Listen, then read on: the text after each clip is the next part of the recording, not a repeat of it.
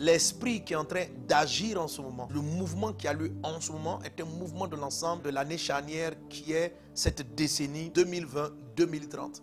Et beaucoup de choses vont se jouer en l'année 2020 lorsqu'il y avait les incendies en Australie, vous avez dit ici à partir du live que ce qui se passe en Australie est la manifestation de certains esprits et de certains jugements qui sont en train d'arriver sur la terre. Et ces jugements-là, euh, le coronavirus en fait partie. Mais il n'est pas le seul jugement qui frappera la terre cette année. Ces prophéties sont données pour que les nations soient témoins du Dieu qui annonce et qu'elles prennent garde. Car ces choses-là sont en train d'arriver à cause de l'iniquité qui s'est accrue. Ce sont les signes qui annoncent le retour de Jésus. Il dit, quand vous allez les voir arriver, faites attention. Ce sont des avertissements. Ils sont en train de vous dire que le monde est en train d'aller de mal en pire. Dans l'année 2020, il y aura une accélération de calamité ça va s'accélérer comme ça, l'une après l'autre, avec des petites brèches d'accalmie. Quand vous allez vous reposer pour une chose, il y aura un autre problème qui va apparaître. La prophétie du 31 a dit, je parle à la France, la prophétie du 31 dit Mars, March, esprit de guerre spirit of dans war de nombreuses nations. in many nations. Tu frappes You en strike, deuil, verse le sang.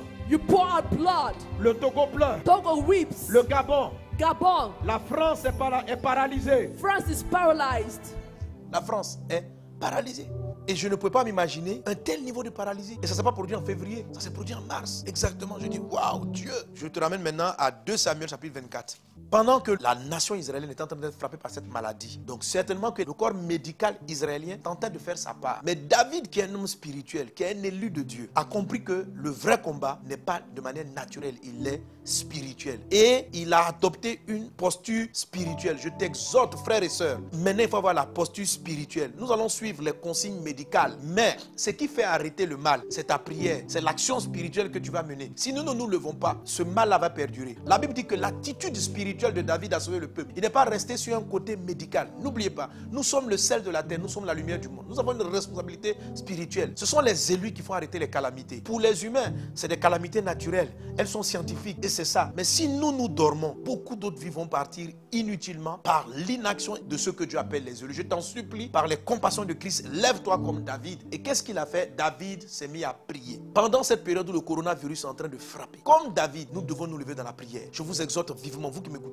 maintenant vous lever. Qu'est-ce qu'il a fait? Il a bâti un hôtel de prière. Alléluia. On va bâtir des hôtels de prière. Des hôtels de prière, c'est dans ta maison, tu vas te réveiller et tu vas prier. Une prière devient un hôtel de prière quand c'est une heure fixe, un moment fixe où tu te retrouves et tu pries. Et tu pries. Alléluia. Alors je t'exhorte, toi qui entends le son de ma voix, à te lever à partir de maintenant et à prier. Je vais dire pour la plupart, à 4 h du matin ou à 4h30 du matin, fixe quelque chose. Avant le lever du jour, il faut que tu dévances le lever de l'aurore et oh, tu te lèves dans ces heures-là qui précèdent le lever du jour. Si vous êtes dans une région en train de m'écouter où votre soleil se lève à 5 h levez-vous vers 3 h Il ne faut pas que le soleil se lève sur toi dans cette période-là. Lève-toi et prie en tant qu'élu de Dieu. La Bible dit que Moïse se levait avant le lever de l'aurore et il partait confronter Pharaon. Donc, lève-toi avant le lever du soleil et confronte l'ennemi dans la prière. Vous tous qui m'écoutez, choisissez à partir de maintenant une heure matinale. On va bâtir nos hôtels de prière. Tous les matins, nous allons être là jusqu'au mois de Et nous allons rester là dans la présence de Dieu. Si vous êtes d'une autre église, vous êtes pasteur d'une autre communauté, faites-le avec votre communauté. Que le peuple de Dieu se réveille avant le lever du jour et commence à élever le nom du Seigneur. Célébrons Jésus. Élevons-le. Il est plus grand que le corona.